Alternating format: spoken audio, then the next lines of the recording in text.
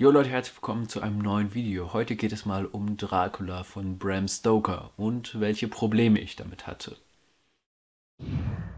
Kurz zur Handlung, das Buch beginnt mit Jonathan Harker, der auf Geschäftsreise ist von London nach Transsilvanien, um dort Geschäfte mit einem gewissen Grafen Dracula abzuschließen. Und bei dem Leser aus dem 21. Jahrhundert schrillen da natürlich alle Alarmglocken, denn ihm ist natürlich sofort klar, um wen es sich bei Graf Dracula handelt. Jonathan Harker ist das allerdings gar nicht klar. Und das ist natürlich ein bisschen weird aus heutiger Zeit zu lesen, dass er da einfach so hinfährt, ohne da auch nur ein bisschen suspicious zu werden bei dem Namen Graf Dracula. Aber das ist natürlich auch völlig logisch, denn der ist natürlich für diese Geschichte erst erfunden worden. 100 Jahre später ist er nicht mehr wegzudenken und wir denken sofort an den Vampir aller Vampire. Aber das wusste Jonathan Harker natürlich noch nicht. Harker trifft dann auf Schloss Dracula ein und wir lernen Dracula erstmal als einen ziemlich normalen und höflichen Typen kennen. Aber mit der Zeit passieren so merkwürdige Sachen, wo man mal drüber nachdenkt, ob es eventuell irgendwas Komisches mit dem auf sich haben könnte. Das ist allerdings nur die Einschätzung von Jonathan Harker. Meine Einschätzung war bei den Ereignissen, Junge, Alter, das sind doch eindeutige Anzeichen, dass das ein Vampir ist, Alter. Aber auch hier ist das natürlich wieder der Wandel der Zeit. Wir heutzutage wissen alles über Vampire und ich glaube, dass das damals vor knapp 120 Jahren eben nicht so war. Damals waren die Vampire noch viel mystischer, man wusste nicht so viel über die und wenn man dann halt einen Typen sieht, der nicht im Spiegel zu sehen ist, dann weiß man nicht sofort, das ist wohl ein Vampir, sondern man denkt sich erstmal nur, hm, komischer Typ.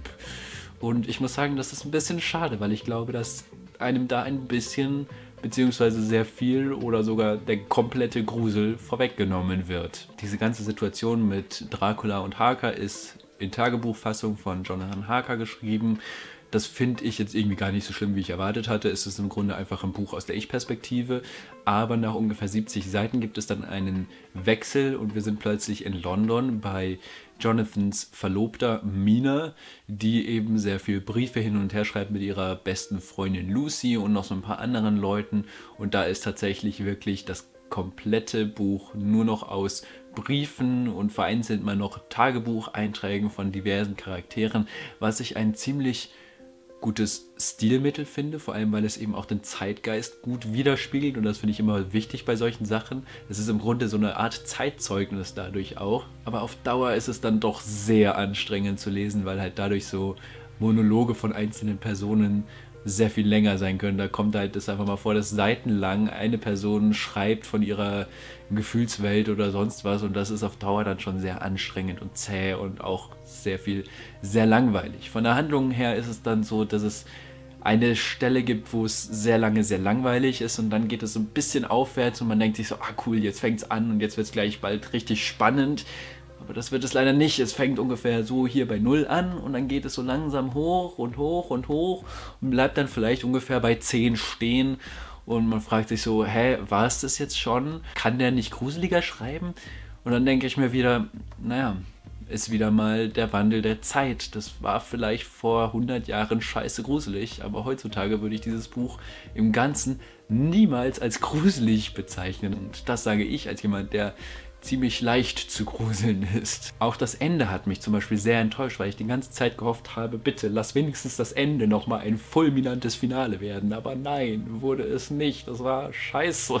Naja, dann komme ich doch mal zu was Positivem. Die Charaktere. Die Charaktere haben mir richtig, richtig gut gefallen. Ich fand es zum Beispiel ziemlich cool, dass wir dieses Buch insgesamt aus der Sicht von allen Charakteren präsentiert bekommen haben und nicht nur aus der Sicht von einem.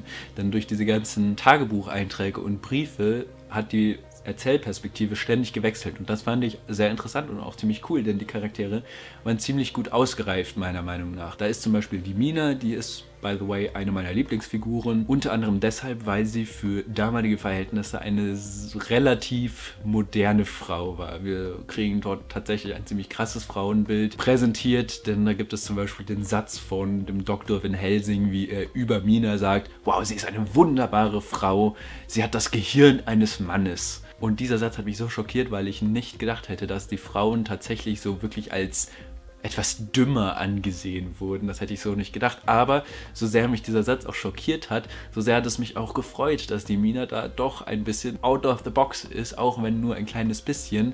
Denn man kriegt immer mehr mit, dass sie dann sich eben doch nicht so sehr in dieses Frauenbild einfügen will. So gibt es zum Beispiel Situationen, wo die Männer alle sagen, so, jetzt machen wir was Gefährliches, da kommst du mal lieber nicht mit, du als Frau.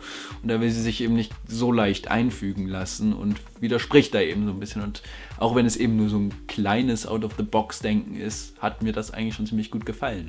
Van Helsing hat mir zum Beispiel auch sehr gut gefallen, trotz dieser Aussage über das Gehirn eines Mannes.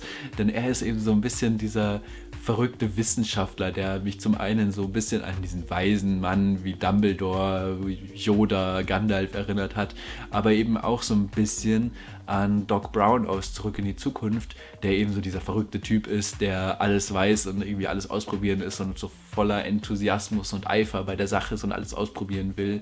Und da hat er mich so ein bisschen dran erinnert und das hat mir gut gefallen. Erstaunlich wenig schlimm fand ich zum Beispiel auch die alte Sprache. Man merkt definitiv, dass die Sprache eine Sprache ist, die vor über 100 Jahren gesprochen wurde, aber ich fand sie nicht so schlimm, wie ich erwartet hatte, sogar fast angenehm. Ich fand es irgendwie ganz schön, wie die Leute so höflich miteinander geredet haben und ihre Worte so wohl gewählt haben. Das ist irgendwie angenehm zu lesen, auch wenn es dann doch auf Dauer ein bisschen zäh wird. Aber so im Großen und Ganzen fand ich das nicht schlimm, sondern sogar fast angenehm.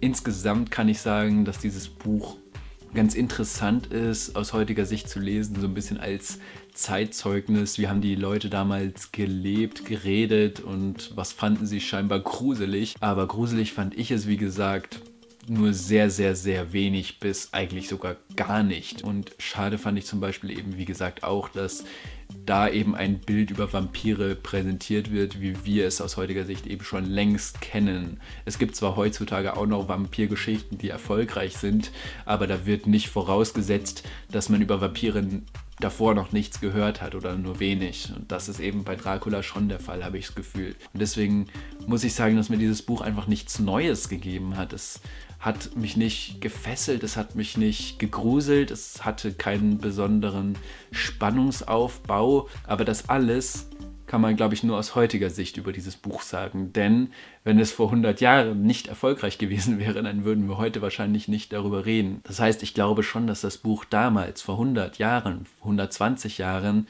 schon sehr gruselig, spannend und fesselnd gewesen ist.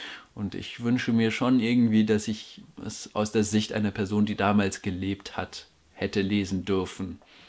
Ja Leute, das war es dann auch schon wieder mit dem Video. Ich hoffe, es hat euch gefallen. Schreibt mir doch gerne mal eure Meinung in die Kommentare. Habt ihr das Buch gelesen? Fandet ihr es spannend oder was haltet ihr von dem, was ich dazu gesagt habe? Würde mich interessieren, ab in die Kommentare damit. Und dann würde ich sagen, wenn es euch gefallen hat, lasst doch ruhig ein Abo oder einen Daumen nach oben da oder gleich beides auf einmal und vergesst nicht die Glocke zu aktivieren. Und dann sehen wir uns beim nächsten Mal. Bis dahin, ciao.